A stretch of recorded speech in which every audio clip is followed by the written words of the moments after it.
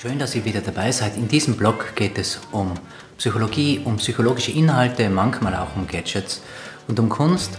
Und das Thema heute ist Wut, Wutausbrüche bei Kindern und Jugendlichen und auch bei Erwachsenen. Ja, sein tut es so, dass man auch äh, dieses Problem multidimensional angehen muss, also von mehreren Seiten her anschauen sollte um auf die Ursachen zu kommen und auch gute Lösungen zu finden. Oft ist es ja so, dass äh, Psychologen eben nur psychologische Aspekte sehen, Mediziner eben nur organmedizinische Aspekte, äh, so, äh, Menschen im Sozialbereich dann vielleicht die äh, soziologische Seite, die Gesellschaft ist schuld. Wir werden aber sehen, dass es auch bei der Wut und bei Zornausbrüchen die nicht entwicklungspsychologisch erklärt werden können, durchaus mehrere Dimensionen gibt und mehrere Erklärungen und damit dann auch Lösungen gibt. Ja, da kommen wir gleich zu einem Problem und äh, zwar nennt man das in der Psychologie die Äquifinalität. Das heißt, verschiedene Ursachen können zu dem gleichen Problem führen. Ähm, weil wir bei der Wut sind und Wutausbrüchen. Das heißt, verschiedene Ursachen führen zu dem gleichen möglicherweise Symptom, die Wut und die Wutausbrüche des Kindes. Diese Äquifinalität ist oft nicht so leicht, weil wenn man sich den Fuß bricht, äh, ist es ein ganz klarer Vorgang. Man hat äh, etwas falsch gemacht oder jemand anderer hat es verursacht, aber äh, der Knochen bricht. Und äh, so ein Symptom kann verschiedenste Ursachen haben. Was es aber ist, es betrifft immer einen wesentlichen Teil der Persönlichkeit. Dieser wesentliche Teil der Persönlichkeit ist die Selbststeuerung. Und zur Selbststeuerung gehören die Impulssteuerung dazu, die Frustrationstoleranz, also wie kann ich äh, negative Gefühle gut aushalten, wie kann ich negative Affekte gut aushalten und die Handlungsantizipation. Ähm, kann ich vorausschauen, was passiert, wenn ich das mache? Kann ich die Folgen absehen von meinem Handeln? Die Impulssteuerung ist klar, also ein plötzliches Herausplatzen, ein plötzlicher Wutanfall, vielleicht später am Nachmittag, weil das Kind schon müde ist und, und äh, die Frustrationstoleranz niedriger wird. Also dieses Ganze ähm, nennt man den Bereich der Selbststeuerung und ist ja, für die äh, Persönlichkeit eminent wichtig. Niemand möchte einen Partner haben, der von Zeit zu Zeit komplett ausflippt und bei einem geringen Anlass äh, aus der Haut fährt. Äh, ja, also das ist wirklich destruktiv und kann Beziehungen kaputt machen, kann Familien belasten. Äh, was gibt es jetzt für Ursachen? Warum kann das auftreten? Warum kann das im Sozialverhalten äh, ein Problem sein? Nicht gemeint ist zum Beispiel das Trotzalter. Also es gibt entwicklungspsychologisch sensible Phasen, wo bei fast allen Kindern ähnliche äh, Probleme auftauchen. Zum Beispiel eben im Trotzalter zwischen zweieinhalb und dreieinhalb Jahren. Äh, hier wird das Kind plötzlich wütend, weil es den Kopf durchsetzen will. Im Winter Sandalen, äh, im Sommer Gummistiefel, keine Ahnung.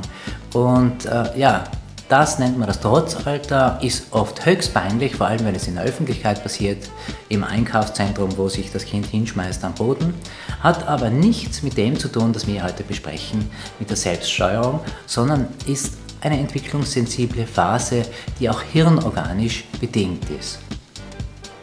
Die kann sich auch verzögern, ähm, zum Beispiel weil eine Familie in Trauer ist, weil es Probleme gibt innerfamiliär, kann das oft auch erst später auftauchen, mit 8, 9, 10 Jahren. Aber von dem sprechen wir nicht. Wir sprechen von den Wutanfällen, den Zornausbrüchen, wo Dinge kaputt gehen, äh, wo Sachen gesagt werden, die nicht gesagt werden sollten. Von dem sprechen wir. Ja, und was gibt es für Möglichkeiten? Also diese multidimensionale Betrachtungsweise dieses äh, Problems ist wichtig. Die erste Möglichkeit wäre, ja, ADHS, ADS. Ein Kennzeichen von ADS, ADHS ist eine problematische Impulssteuerung. Also in Windeseile ist das Kind auf 180, flippt aus, macht ein Drama und ist dann aber auch wieder schnell wieder herunten. Ähm, die Eltern seltener, bei denen dauert es meistens länger. Also ADHS, die Diagnose ADHS kann die Ursache für Wutausbrüche, Zornausbrüche sein. Das gibt es auch isoliert, das heißt, ähm, die genetische Disposition vor allem bei Männern oder männlichen Jugendlichen und Kindern, ähm, dass diese Impulsivität und diese Impulssteuerung problematisch ist. Und dann kracht es auch richtig in diesen Familien. Das gibt es auch also isoliert, ohne das Problem mit der Aufmerksamkeit äh, eine, ein Problem zu haben oder mit der Hyperaktivität und mit der inneren Unruhe. Isoliert. Ja, das dritte, äh, die dritte Ursache für so ein Verhalten, äh, für ein destruktives Verhalten, äh, kann ein Trauma sein. Ja, traumatische Erfahrungen führen eben dazu, dass Teile der Struktur der Persönlichkeit äh, geschädigt werden und eben ein solcher Teil ist die Selbststeuerung mit der Impulssteuerung, der Handlungsantizipation und Frustrationstoleranz. Das heißt, äh, wenn, wenn ein Kind mit äh, übermäßiger Wut und plötz plötzlichen Zornausbrüchen reagiert, kann das durchaus aufgrund eines Traumas sein. Man muss da unterscheiden zwischen singulären traumatischen Erfahrungen, Krieg, Gewalt ähm, oder andere Dinge und äh, Mikrotraumatisierungen, die sich permanent wiederholen, die nach außen vielleicht nicht so dramatisch ausschauen, aber sich permanent wiederholen, wie die Vernachlässigung oder die Deprivation, wären da Beispiele dafür.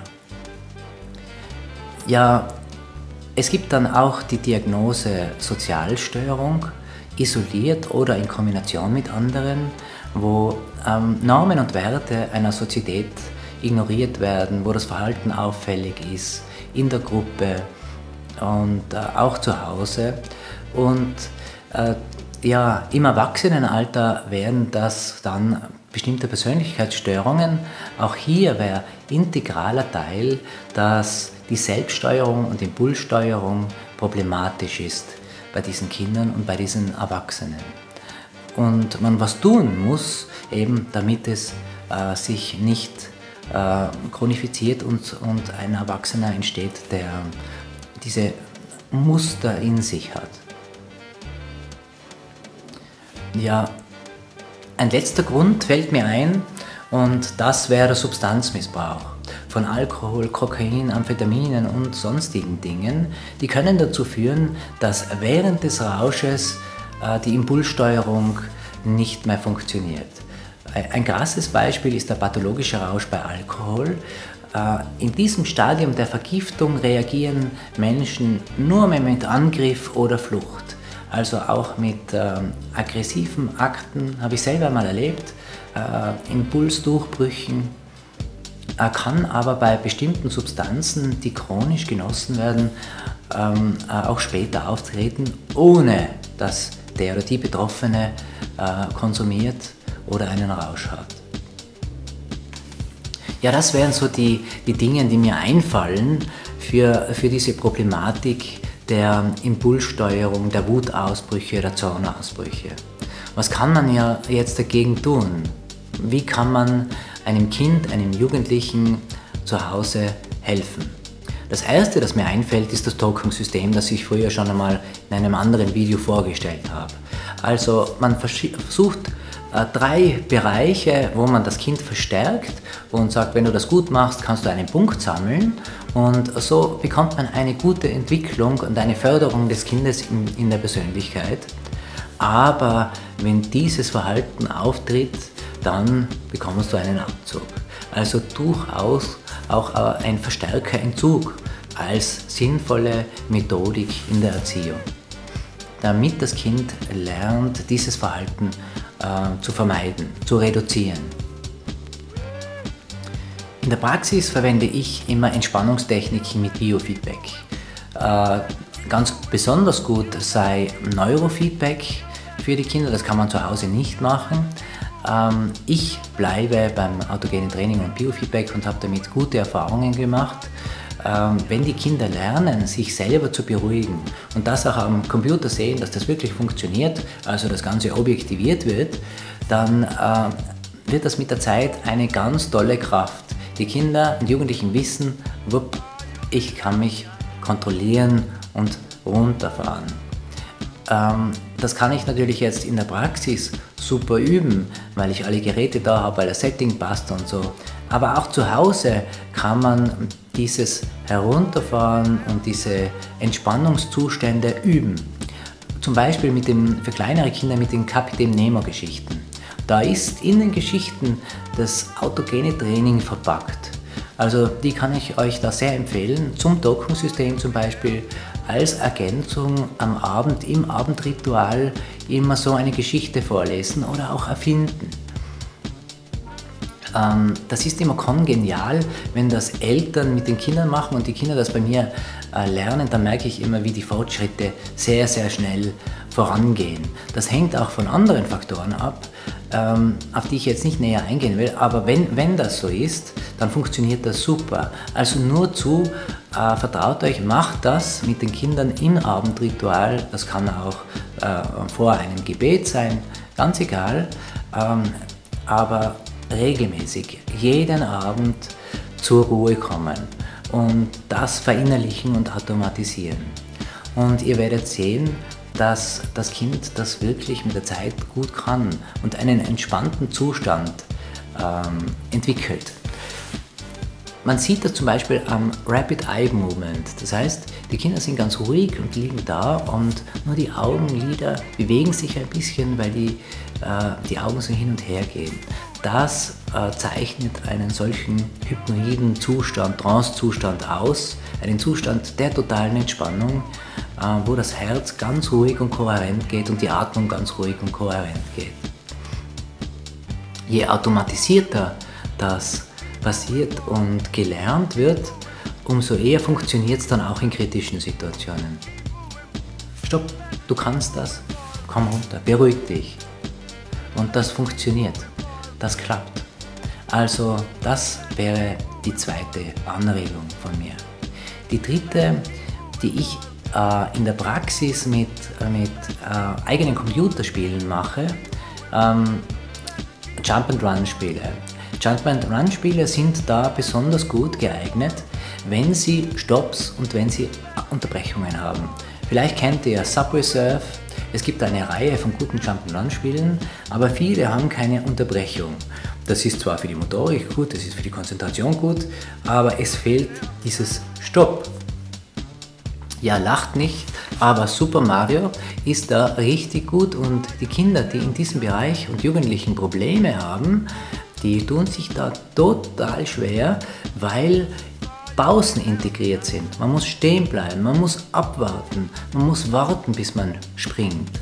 Also so kann man auch die Impulssteuerung und die Handlungsantizipation trainieren mit äh, solchen Spielen. Also das wären so die drei Basiselemente, das Dockensystem, die Entspannungstechniken äh, vor dem Lernen, vor der Ausübung vielleicht oder am Abend, aber da gewiss.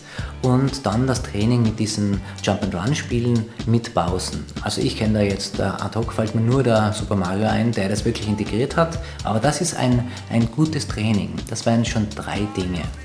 Und last but not least, äh, bei einer genauen Abklärung, wenn man weiß, was die Ursache ist, ähm, und auch wenn man es nicht weiß, kann unter Umständen auch die Psychiatrie und die Pharmakotherapie nützlich sein und hilfreich sein. Es gibt Fälle, wo das äh, Familiensystem so belastet ist und die psychosoziale Entwicklung des Kindes und Jugendlichen so gefährdet ist, dass das absolut sinnvoll ist. Das wären meine vier Anregungen. Vielen Dank für Euer Interesse, vielen Dank für eure Aufmerksamkeit. Bis zum nächsten Mal.